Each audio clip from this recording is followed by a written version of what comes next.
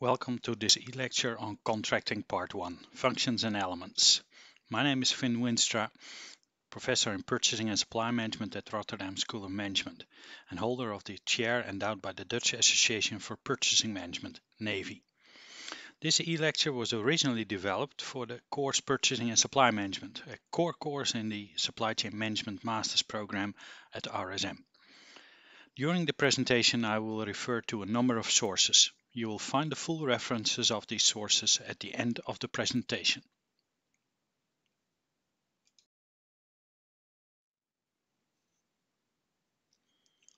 This e-lecture deals with contracting, one of the main processes within purchasing and supply management. In the PSM wheel, which we often use as a reference framework in structuring our teaching, contracting and implementation is the fifth process within the upper half of the wheel the sourcing part. Contracting follows tendering and supplier selection, which we address in another e-lecture.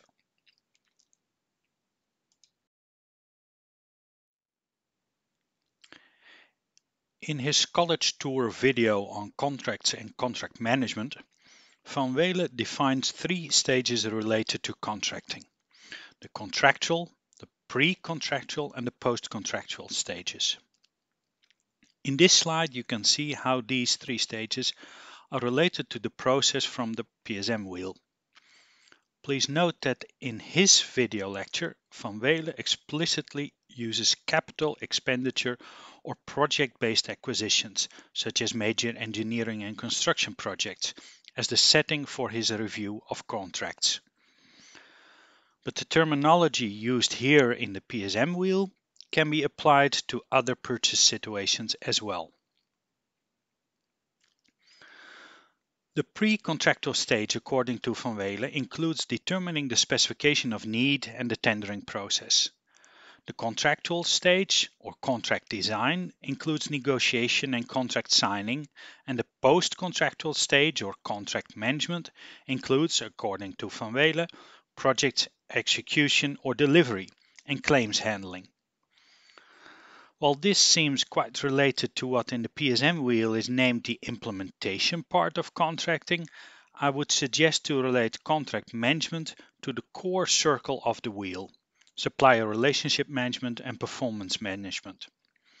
In his video, Van Weele's focus on project procurement leads to an emphasis on a specific form of contract management, which could even be interpreted as purchase to pay, the bottom half of the PSM wheel from the previous slide. In general, however, contract management is seen as a more tactical or strategic activity, where the buying firm assesses the compliance of the supplier's performance and behavior with the original contract.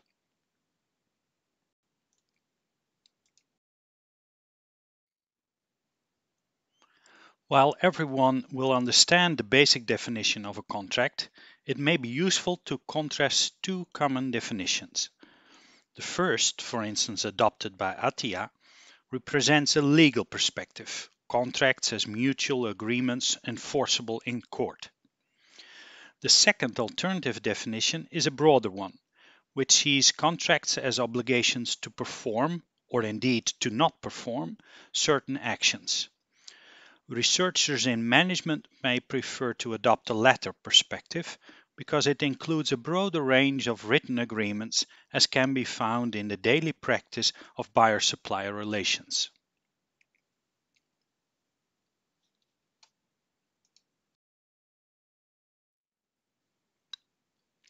Having defined contracts, the next question is what main varieties in contracts are there? In the second part of this e-lecture I will go into more detailed varieties, but at the generic level it may be helpful to think of three main sourcing situations, or governance modes as it is referred to in economics. First, we may have an in-house supplier. In other words, the buying firm is not contracting with an independent entity, but within the hierarchy of its own organization. Surely particularly in large corporations, there may be quite formalized relationships between a customer and its internal supplier. And for instance, intensive negotiations on what is referred to as internal transfer prices. Still, within purchasing and supply management, we will normally not address such contracts, also because the purchasing department is traditionally not so involved in these internal contracts. At the other end of the spectrum, depicted at the bottom of the slide, we have the market, sometimes called the spot market. Here we have highly standardized products or commodities. Think, for instance, of flowers and vegetables bought at auctions or grain, metal, and oil bought at commodity exchanges. Typically, buyers and sellers remain anonymous to each other and use very standardized contracts that usually focus on price. Special derivative contracts may exist, such as futures, to hedge against future risks. This is, for instance, done by airlines that may want to hedge against price fluctuations in fuel prices or food producers that want to hedge against future shortages in, for instance, the supply of coffee beans or peanuts. In between the market and hierarchy, we have an enormous variety of different types of buyer-supplier relations, which are collectively referred to as bilateral contracting situations. Buyer and supplier are not anonymous anymore and agree on an often customized contract. So here, for instance, a supermarket does not buy its fruits and vegetables via the auction market, from specific growers using long-term contracts.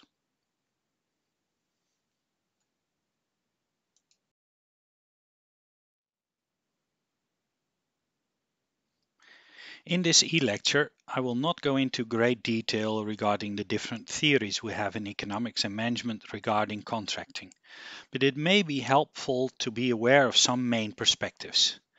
Basically, one can distinguish four main perspectives on the function or role of contracts. These different functions particularly apply to what we defined in the previous slide as bilateral contracting. Transaction cost economics sees contracts mainly as tools to safeguard investments, in particular investments into transaction-specific assets, non-redeployable physical and human investments that are specialized. Think, for instance, of a supplier that invested in machines that can only be deployed for one specific buying firm. A second perspective focuses on the role of contracts in governance, allocating decision rights, for instance on contract renewal, applicable national law, etc., to the respective contracting parties.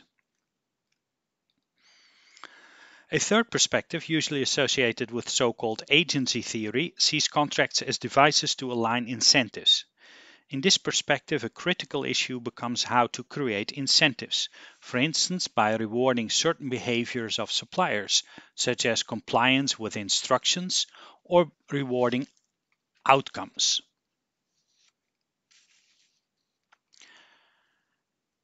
A fourth perspective treats contracting as a means of information provision and coordination. This perspective emphasizes, for instance, how contracts can be used to set goals and provide information to suppliers to enable them to perform their activities in the most effective way. These different perspectives may seem abstract at first, but also in practice, buying firms and their managers may have an implicit perspective on contracting as well. And this may also affect what they seek to achieve with contracting and what they will write into a contract.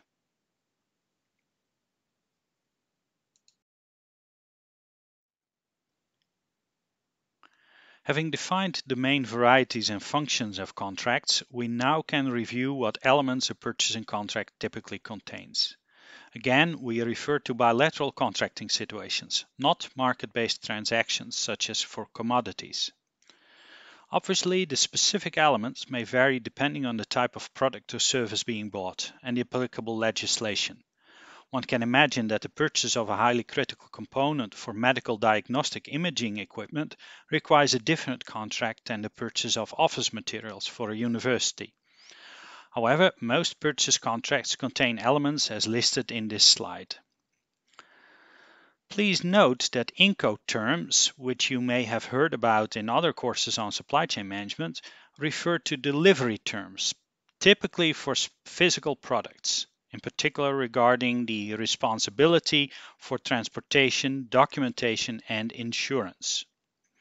For instance, free on board FOB, one of many alternative Incoterms options, means that the buyer takes delivery of goods being shipped to it by a supplier once the goods leave the supplier's shipping dock.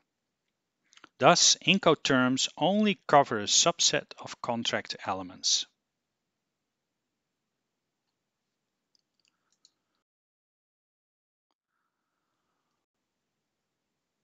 While we have just reviewed the typical elements of a purchasing contract, it is important to point out that these elements may sometimes be allocated to different contract documents.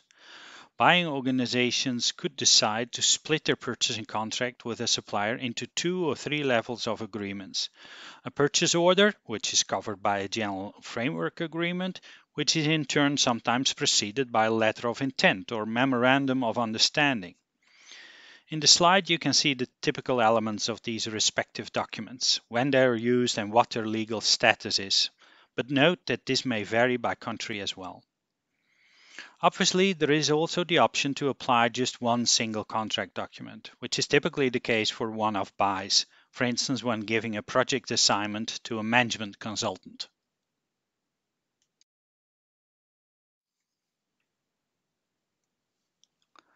Finally, by way of conclusion of this first part of the e-lecture on contracting, I want to point out that the importance of contract documents may vary. It varies first of all between countries and their respective legal systems. For instance, adaptations of contracts are, according to Dutch law and most legal systems in continental Europe, as binding as the original contract. Parties have the freedom to make adaptations, whether in the text or in appendices or other official documents. Minutes of official partner board or steering committee meetings in which adaptations are agreed are regarded as binding as the original contract. US contract law, on the other hand, is much stricter in the notion that only the official contract is binding, implying that all changes need to be laid down as adaptations of and in the original contract. Secondly, the importance of contract documents may vary between sectors. In some agricultural markets, for instance, a handshake may be as important as a written contract, while highly re regulated sectors such as oil and gas traditionally rely much more on written contracts. Finally, the importance of contracts for a buying firm may vary according to the type of purchase. The higher the value and the supply risk and the less expertise the firm has in buying the product or service, the more it will usually rely on written contracts.